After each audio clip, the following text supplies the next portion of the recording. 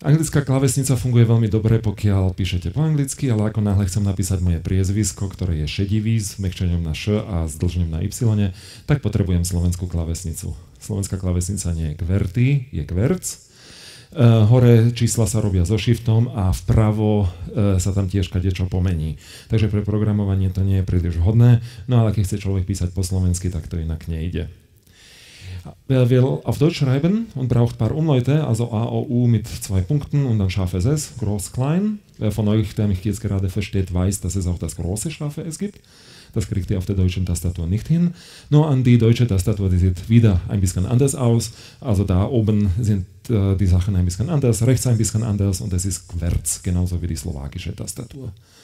Česká klávesnice se podobá slovenskej klávesnici, taký kverc, ale má nejaké iné nabodeníčka, čárky, háčky, ktoré a úskroužkem, ktoré sa píše zase trošičku inak, takže když chcete programovať, tak to taky moc dobře nefunguje, no ale jak chcete psať česky, tak je dobré e, mít e, českou klávesnici. Est-ce que quelqu'un a déjà écrit sur un clavier français? C'est ni QWERTY, c'est ni QWERTZ, c'est AZERTY, le point, on le fait avec un shift, le M, il est ailleurs, et tout le reste change. Mais si on veut écrire des CD, des accents circonflexes, tréma, etc., on a besoin d'un clavier français. Euh, moi, j'ai appris à utiliser le VI sur le clavier français, et à l'époque, je ne comprenais pas comment quelqu'un a pu euh, construire ou bien développer un logiciel comme VI en utilisant le clavier français, parce que les deux ne vont pas du tout bien ensemble. Teclado castellano. Se necesita escribir un poco en castellano con ñ puntos de uh, interrogación o de exclamación abiertos al principio de una frase, necesitáis el teclado castellano, que no es muy práctico para la programación. Jak ktoś pisał po polsku, chce napisać do kogoś, kto się nazywa Grzegorz Brzęczyszkiewicz i mieszka w Szonci-Żewoszyce, powiat Wękowody, tak jest fajne mieć polską klawiaturę, która, która jest bardzo podobna do amerykańskiej, no ale jak chcecie pisać jakieś kropki, kreski i inne znaki, tak jest ważne, jest możliwe jakąś kombinacją pisać tak na polskiej klawiaturze.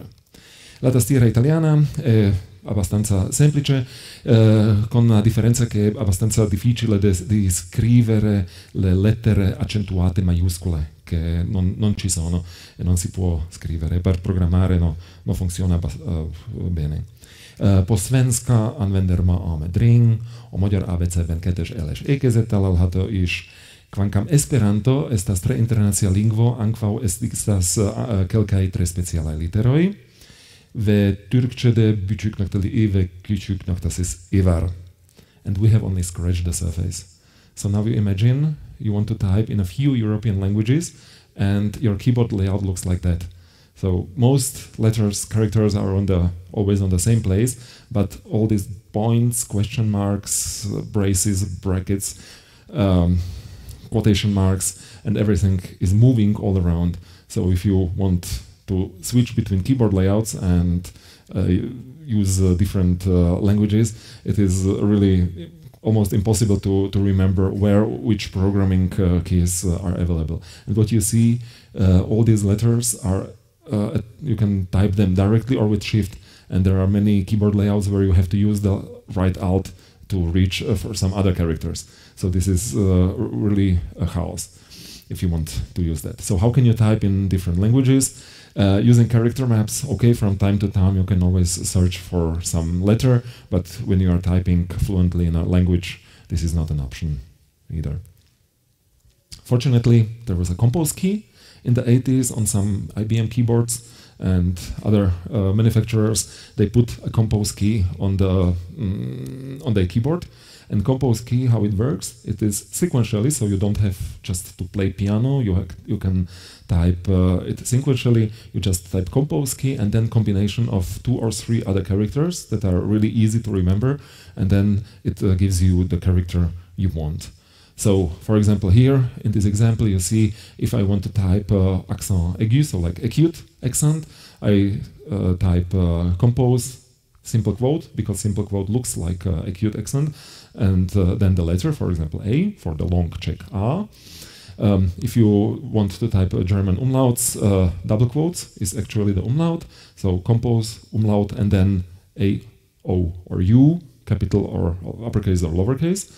And the, the, concept is not language dependent. So if you want to type in French, for example, the name of the car manufacturer Citroën, this is the A with trema, but the trema is the same like umlaut in German. So you just remember anything that looks like two dots. I need compose, double quotes, and then the character. Um, if you type in Polish, the W, this is the, uh, the slash through L, it is compose slash L. Um, the German Schaf SS, compose SS. If you need the uppercase Schaf SS, is compose shift S, shift S.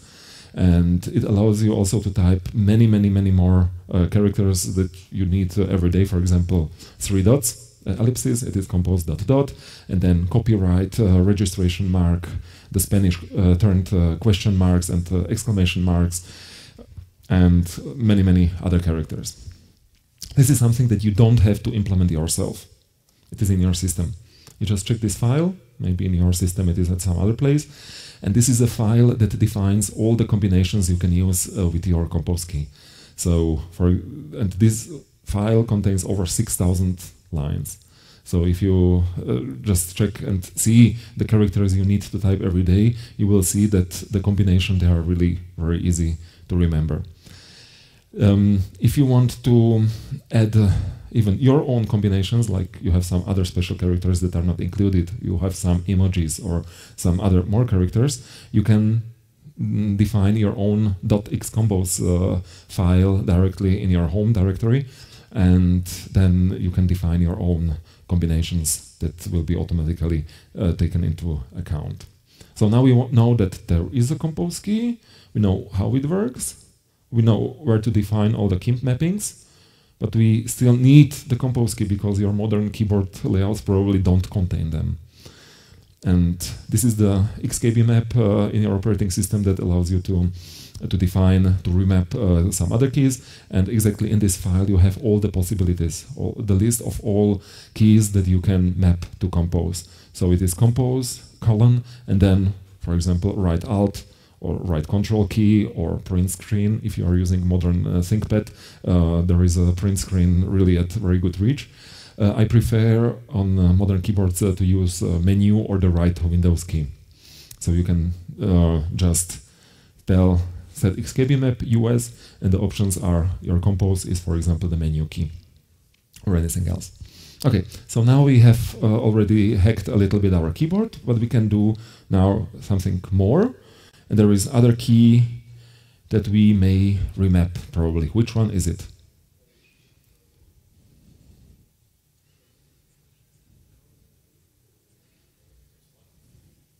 Yeah, who needs caps lock anyway? So what can we do with caps lock? There is, for example, what, what, because a caps lock is something that you can reach with your pinky uh, finger very well, very easily. So maybe we can take control and remap our caps lock to control. So there is a line that tells, okay, my caps lock is now a control modifier.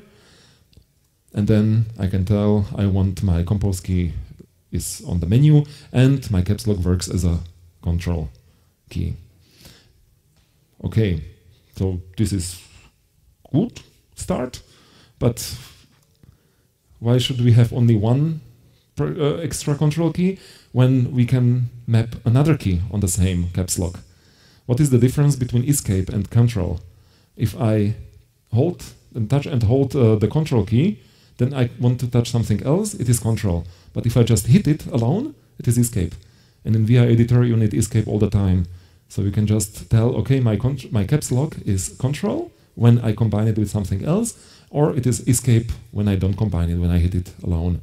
And then you can just take the program, for example, xcape, that will follow, that will watch your caps lock and wait. If you release it without touching anything else, it will be escape. Otherwise, it will be the control. And this way, we have really our ultimate keyboard layout, which is standard US uh, one with only two keys modified that will allow you to work with uh, VI much faster and also to type in uh, most European languages without touching anything else. So if you don't, if you want to use some Colemak or Dvorak or some other keyboard layout, someone else at your computer will have problems with this no because nobody will usually touch control or uh, menu or right window key, and you with your remaps, uh, you have the possibility to reach uh, much, much further. And you just need to type these two uh, commands into your into your init, init files, and then it works perfectly well. So now we can we are ready to rock, or better to say to Vim, and we are going to check to see a little bit of history of Vim. The whole history starts end of 60s, beginning of 70s, so probably the times before most of you here were born. Um, in this uh, chronology of uh, VI editor, you probably know Vim, that starts in 91. It is the open source uh, editor uh, fork of uh, VI, or the whole rewrite of the VI editor, uh, written by the Dutch programmer Bram Molenaar. And it is something that works until now, and now Vim is in the version 8. Um, there is NeoVim, quite new, 2014, and it's a more community-driven fork of uh, Vim with uh, some improvements that we are going to see later. Um, around Vim, you see Stevie and Elvis. These were Amiga or other operating system clones that uh, Vim was based on. And then the history goes a little bit further back, 76, the VI editor, the standard VI editor on Unixes. And even before that, there is Ed, Anyone has already seen Ed, heard of Ed, used Ed, using it every day? No. You will see that you are missing something because it is the most useful editor you can have on your computer. Who knows these two guys? Dennis Ritchie, Ken Thompson. They are the authors of Unix. Without these two guys, no Unix, no BSD, no Linux, no Mac OS, no Android, just Windows everywhere.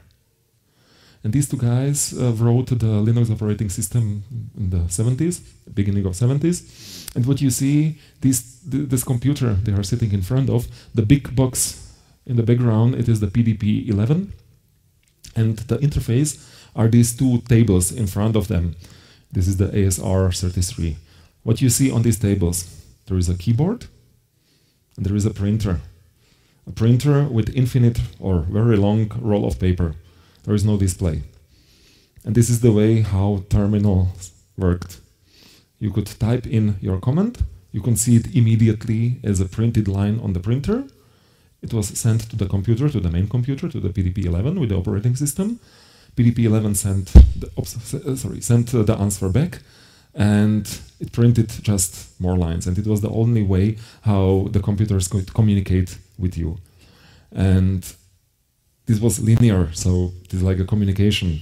I tell something, the computer tells something, and the printer, it cannot really edit the paper, it can just print always new characters, scroll, and uh, print new characters. And this is how they wrote the whole Unix operating system.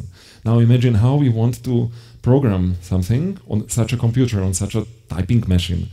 If you cannot type the whole program at once, maybe you could, you are PHP coders, but in those times they had to write something, then edit it, then delete some parts, rewrite, and for that you need an editor that communicates serially.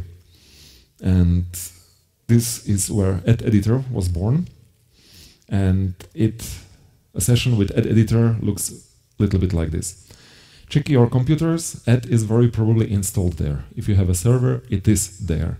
It is uh, the most practical, not the most practical, the most ubiquitous uh, text editor available because it communicates serially.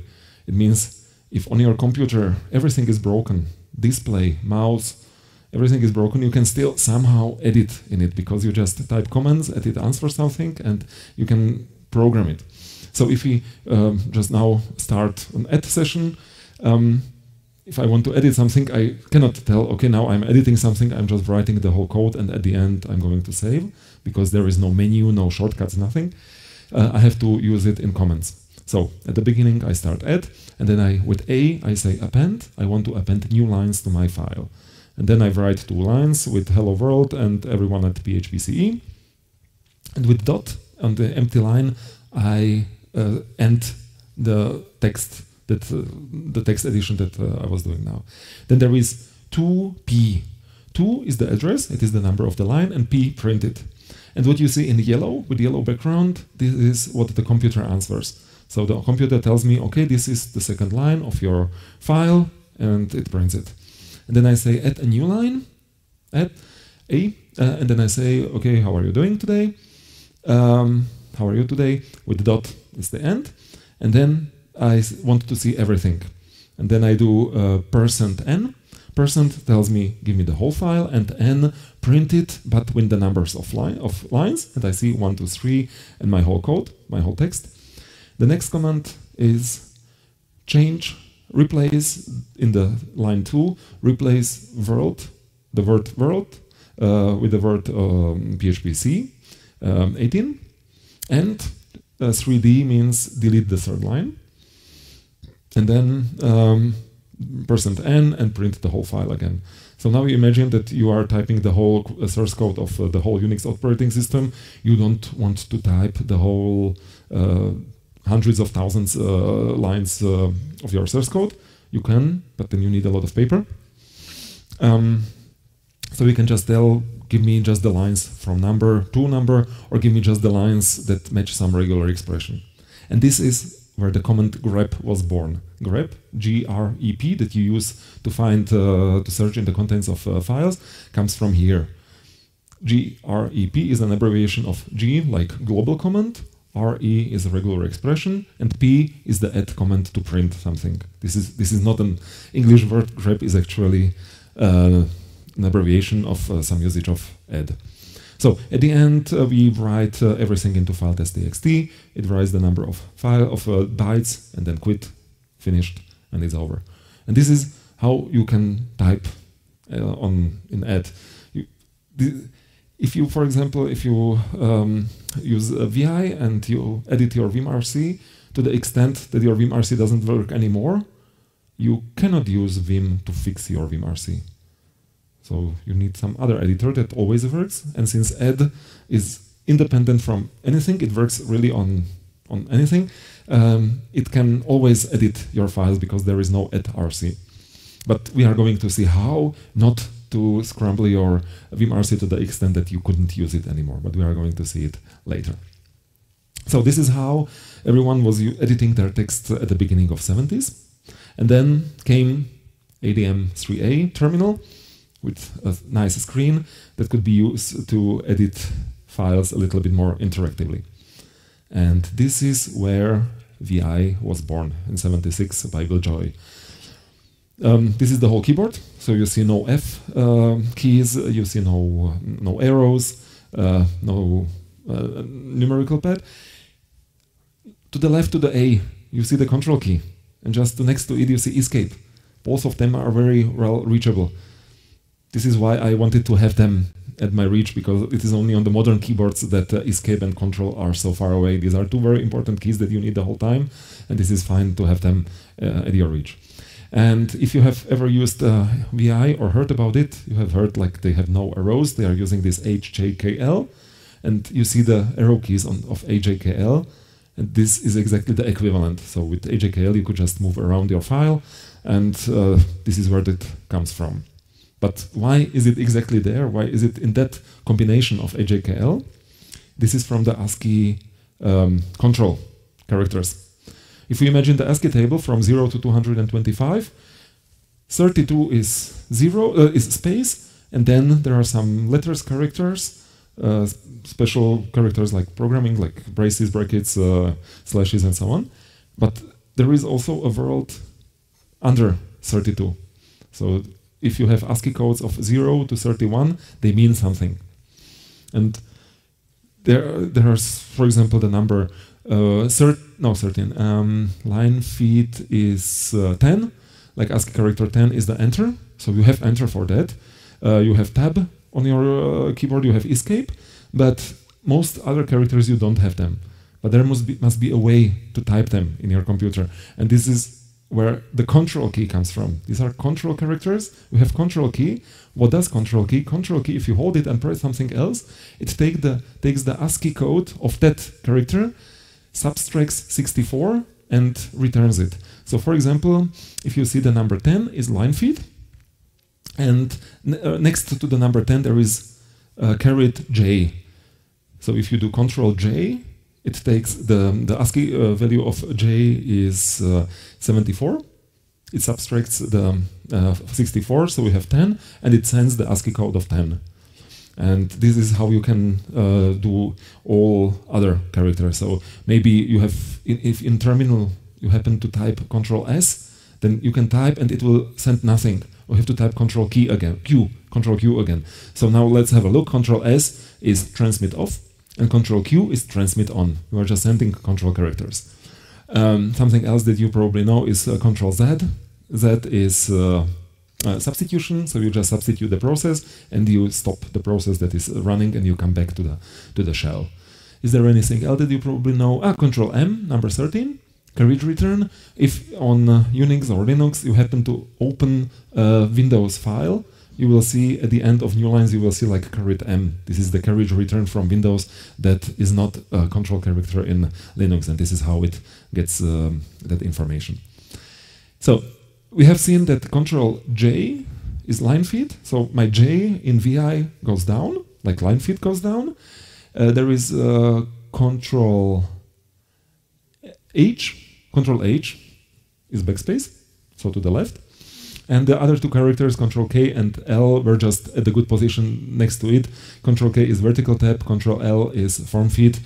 Um, they don't mean the same like, like the arrows, but uh, they are at the right position. Um, by the way, form feed, Control L, if you do it in your terminal, it will just clear the terminal output. And Control L is form feed. Form feed on a printer means just take the whole form, take it, put the paper on, and start with a new sheet of paper. It was an infinite paper, but um, it uh, just moves uh, the whole uh, sheet uh, up. Now you see that text editing is just manipulating text, and you can do everything with the bytes that you are sending to your uh, computer, and you don't really need a mouse because using a mouse is like pointing and grunting to get your point across. But with Vim, you can speak in full sentences. It's much more beautiful. Where it comes from, in VI, every key on your keyboard has some function. So if you are not typing new text, entering new text, you are in the um, in the command mode. Uh, you can use uh, most keys or combinations of them to do everything with your text. You are you are the author, you are the hacker of the text, and you can manipulate it programmatically. So you just say, I don't want to take mouse and find for some character. I just want to go two lines down, three words right, uh, then find um, occurrence of some other uh, word and then do something with it.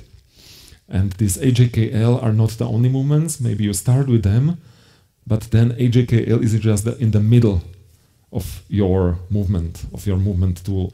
And with knowledge of a few more commands, you can really jump around very quickly around the whole text and do anything you need. So this system is so perfect that there, uh, it inspired many other programs. This Vim-like software.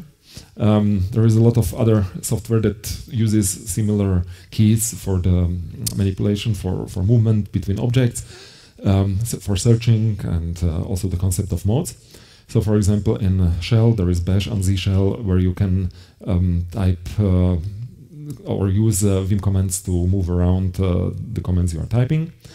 Then there is i3 and TMUX. These are window managers, text window managers.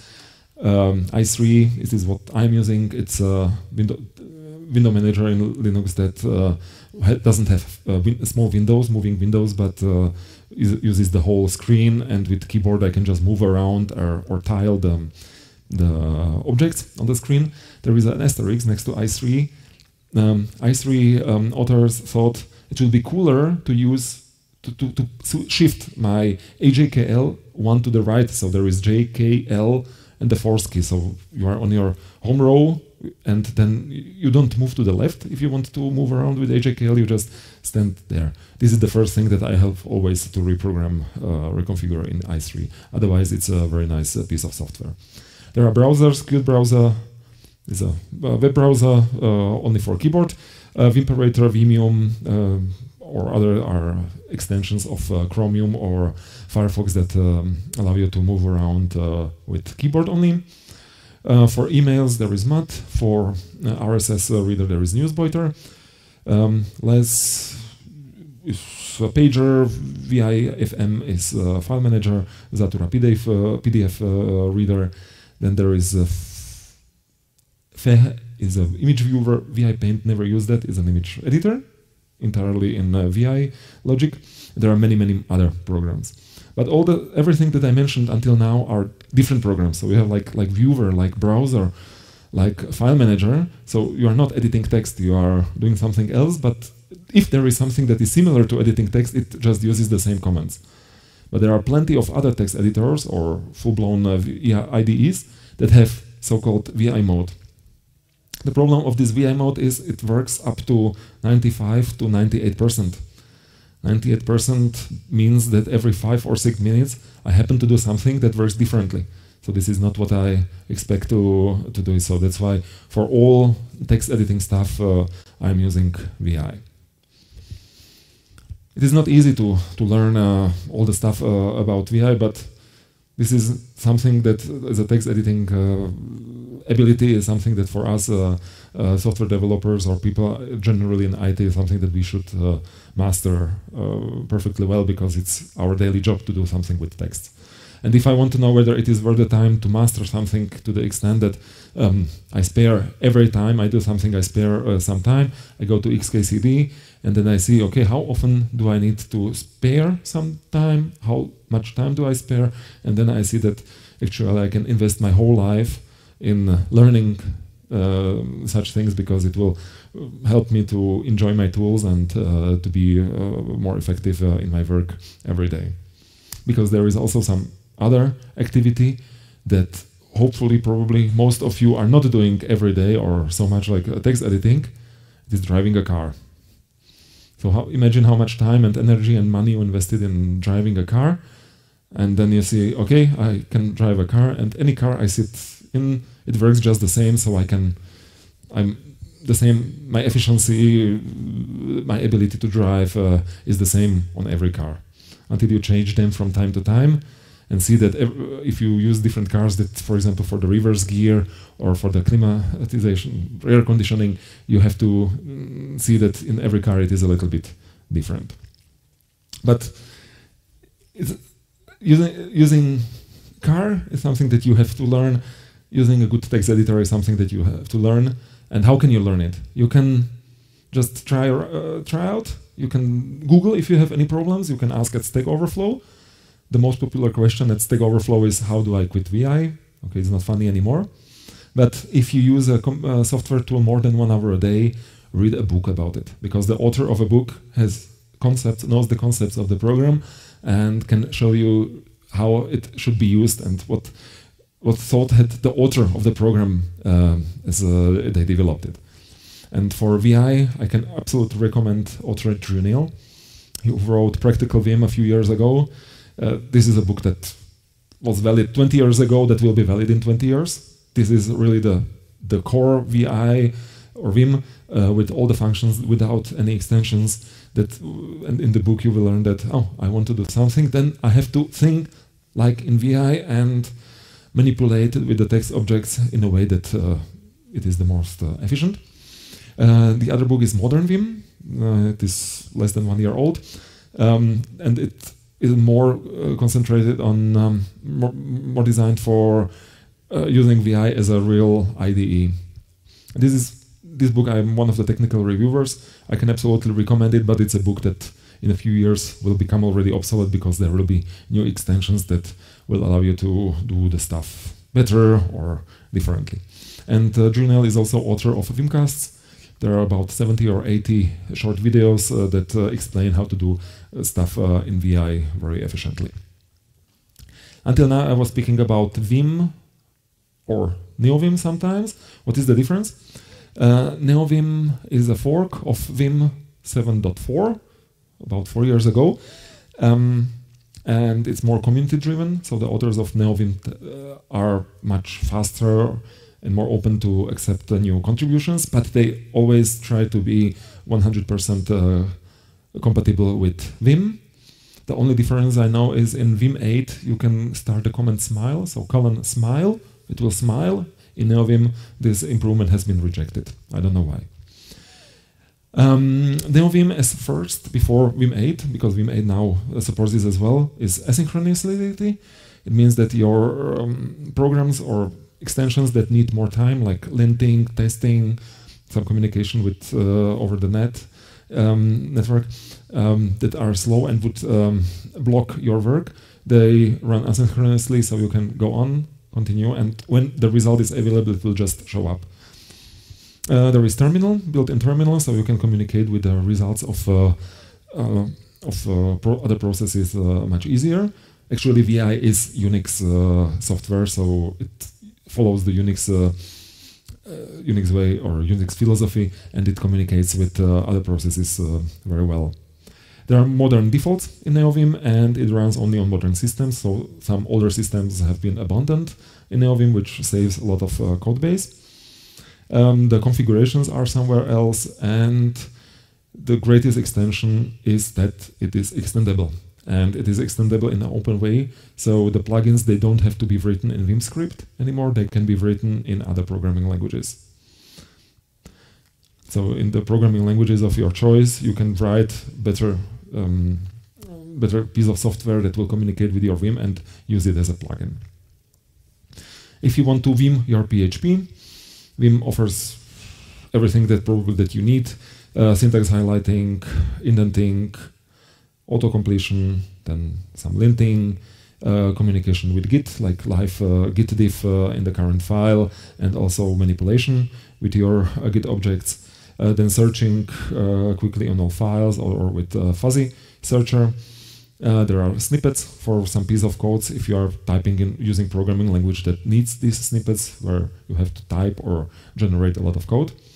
Um, there is folding, like automatically hiding mm, in content of uh, functions that, and you will see then only the first line. Uh, interaction with terminal, as I mentioned before, and there is spell checking that checks just comments and strings. So the names of the functions can be uh, anything you, you need. Um, on the other way around, I thought PHP or Vim should be possible. And then I checked the list of programming languages that are currently supported in this remote communication, and PHP is not there. I'm sorry for that. So if you have, if you use also some other programming language like Python or Node.js or C, C++, C Sharp, then you can write yourself a plugin for Vim, but now I don't know about the possibility to, to write your plugin in PHP. But it shouldn't be a problem to write an infrastructure for that. So if anyone raises a hand, can start with that, and uh, certainly the community would welcome it. Um, if you want to customize your Vim, it's possible, but you should master the standard NeoVim or Vim uh, without customization. Uh, because uh, Vim is everywhere. You log on some server, there is Vim, but it's not your Vim, so it works in the standard way. And this is exactly what you could see in the book uh, of uh, Practical Vim, is the usage of Vim in the standard way without uh, any extensions. So it is a good way to learn standard Vim. And then if you want to customize, of course, if you are on your own computer, um, you want to have it the most efficient possible in the beginning, you would always reach for the arrow keys. You can deactivate them easily, and then it won't work. If there is a colleague who wants to see something in your text file and then uh, touches the um, arrows, uh, it will not move around. But that's the best way to learn it. So after a few weeks or months, you are really forced to use HJKL or other keys for movement that are much uh, more efficient. You can remap keys, but remapping keys means that then the key doesn't do something, it do, does something else. So you are losing some functionality. You can always shorten some comments. If you have a longer comment that does something, you can shorter it to a like remap it to a shorter one. That's fine. Appearance, of course, with all the um, uh, color, um, the usage of some some headers, footers, uh, gutters on the side. Uh, this is always uh, useful. Behavior and okay, how, how it behaves, and plugins. There are plenty of plugins. I'm not going to read them here because if you want to customize it and to use some plugin, you should read about it. Uh, you may, of course, you may ask someone, uh, search for some some comments online, but you, shouldn't take just a bunch of plugins from someone, uh, whole vimrc, and then use it. Just every time you take a new line into your vimrc, just consider it, see, okay, do I need it, and uh, then edit only then, because you shouldn't put any lines into your vimrc that you don't understand. And vimrc is a dot file. A dot file is file somewhere in your home directory with dot at the beginning of it, so a hidden file. And the dot files, not only vimrc, but zshellrc, tmux, some SSH configurations, and, and so on and so on, are your technical CV. Technical CV, it means it is something that you develop your whole life. You just take it with you, you don't have to show it to anyone, but if you change your companies, you change your computers, it is always good to have something that you are used to and you develop it through your career. Um, all these dot files, you, they are on your computer, they should be backed somewhere on the internet in a private GitLab repository or Uberspace or uh, GitHub or somewhere else. You can, if you know that there there is nothing private in them, you can of course show them uh, to the public and let other people discuss um, them, and also let other people inspire get inspiration from you if you comment them well. Um, this your choice, um, but it's uh, always a good idea to have your dot files at one place in one repository, and then git them, because if you have um, if you just try out something new and then your Vim doesn't start properly because you changed something, you're not going to use Vim to re-edit that file. But in Git, you just started a new branch, committed, okay, it didn't work, so you just check out the original branch and uh, then it will uh, work again as uh, you were used to. With those branches, it is also possible to uh, to try out new things or or even to, to run parallel environments that are similar but a little bit different. For example, at home I'm I have my laptop. At work I have a laptop with two monitors. So the configuration, for example, of i3 with all the displays, with all the workspaces is a little bit different. So this is a small thing that changes between the configurations. So you can just have them into branches and then cherry pick between the two. But most things uh, are stuff that you are taking with you and you want to have them um, at your disposal. How to do, how to organize your um, dot files. Um, I tried to have one dot file directory and then soft link uh, all other um, files to that, but it was quite complicated. There are some frameworks for that, but this is a way that works really perfectly well. I just aliased uh, my Git to a new command named config, and two things that I th told it um, there is a Git um, repository, git dir, not in my home directory and in .git, but in dot, files. The difference is that if I am in my shell in my home directory and my shell wants to tell me something about the current uh, repository, it will it would always have a look. Ah, there is a .git, so I have to compare all 10,000 files in my home directory with everything that is in my .git and actually for my dot files, I want to version like 10 files. So from 10,000 files, I want to have only these 10, these 10 uh, files. Um, and it would, every time I do uh, enter in my shell, it would just compare it and tell me, okay, there is there are so many untracked files and so many changes, and it would take uh, too much time. So if I tell, okay, my Git directory is not in dot .git, but in dot, dot files, and then I tell this uh, config that it's a Git with Git directory in uh, files and with work tree in my uh, home. I can use config as a complete as a working uh, Git uh, command, but concerning all the files that I am tracking and that are tracked in my dot files. So I define this. Then I initiate uh, these dot files as a bare Git repository. And very important command is this config local status show untracked files to know. It means that if I'm in my home directory and I say config status, status, it will not compare tell me that there are 10,000 untracked files. It will just tell, okay, you, are, you have your 10 files that have been changed. I can diff, I can branch, I can commit, I can do everything with that. Then I add some remote on GitLab, GitHub, or Uberspace, or any place you have. And then with um, config uh, add uh, uh, and adding other all files I need, I can just work it with with the as, a, as with a Git uh, repository. So, is it really one brain, one keyboard, one editor? So is it really the way to be most efficient when using only one brain, one pair of hands, one physical keyboard, one logical keyboard, and one text editor to work every all stuff uh, with text? Yes, if you use your muscle memory, because this is something that you develop over your career. Um, if you use only one keyboard layout and you don't have to think I'm now typing in Polish, Slovak, French, or English, and with the Compose key it works uh, very well. Um, use one editor for all text.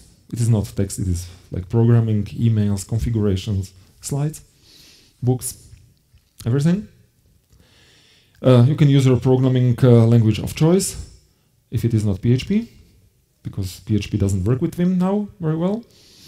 Um, take the, your dot files with you and don't put uh, any lines into your uh, dot files that you don't understand. And go back to the roots. So just accept that there is some Unix philosophy that works for this stuff very well. Because enjoying the tools is the most important part of your work. Thank you very much.